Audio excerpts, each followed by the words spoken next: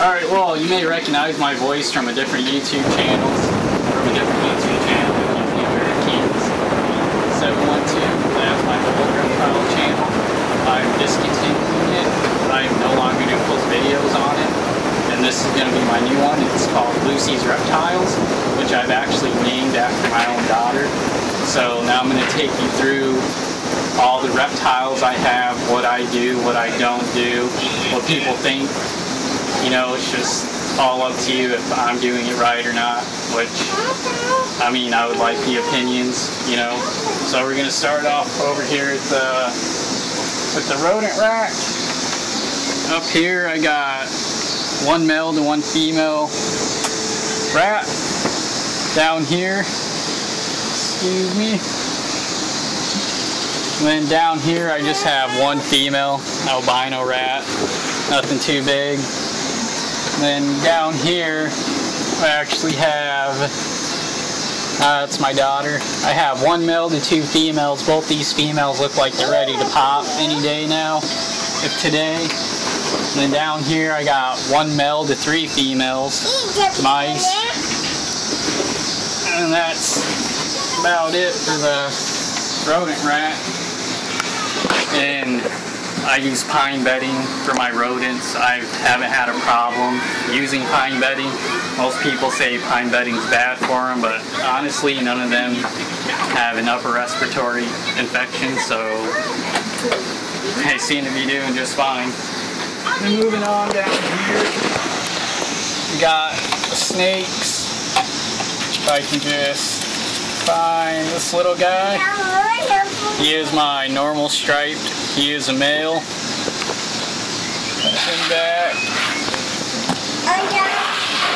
And down here, I have, if I can find her. Here she is. She is a charcoal. She is female. And moving on from there.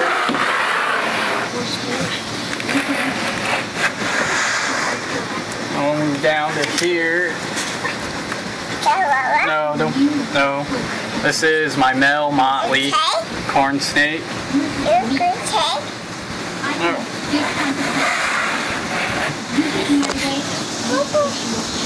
Here. Ah. And moving on from that,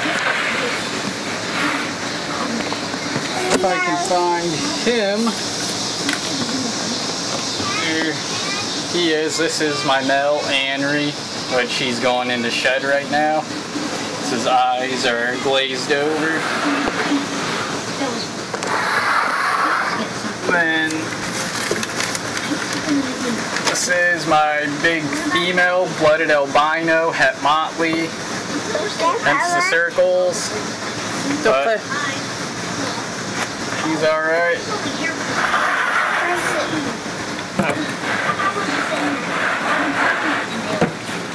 Then here's my big male, if I can get him out. He's my Aztec. He's such a sweetheart.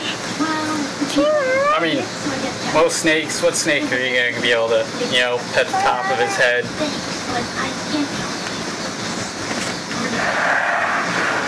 And then moving on from there, got my leopard geckos. And this guy down here, oh, you won't let me handle him, but that's my Tremper albino male. And then that's just a normal female, which I hope to be breeding those two here pretty soon. And then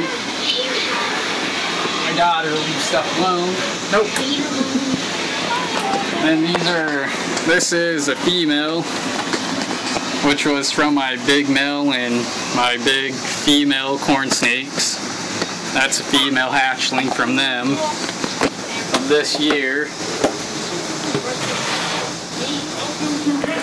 And that one that's hiding there, that's the other female. All three normals. Leave it So shut. Out of that clutch. I didn't get a very big clutch, but that's alright. Here's another normal male. They're all het for motley, obviously, because you can tell. But he's my male. I got two males and two females.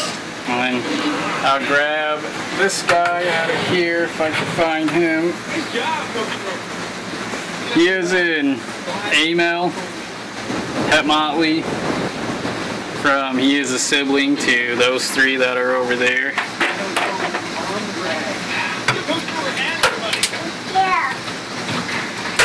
Just close that. Moving on to over here, just so I get those out of the way. Pile drivers and later groups. And Wrestling? This forward a is little real bit. wrestling. Let's go! these are my crested geckos. If I can He'll kill me. This is my male. He is a pinstripe. And then if I can find my female, which she is back here. She is just a normal possible pinstripe, only I say that because of the tail. Don't worry, Fred. I'll take it. Hey, I wasn't ready. That was a swing. Now we're gonna go over here. And then this is my frog, obviously amphibian. He is a pixie frog, gender unknown. I'm not too big into the whole amphibian thing, but you know, I got him for free from my friend, so I was like, hey, why the hell not?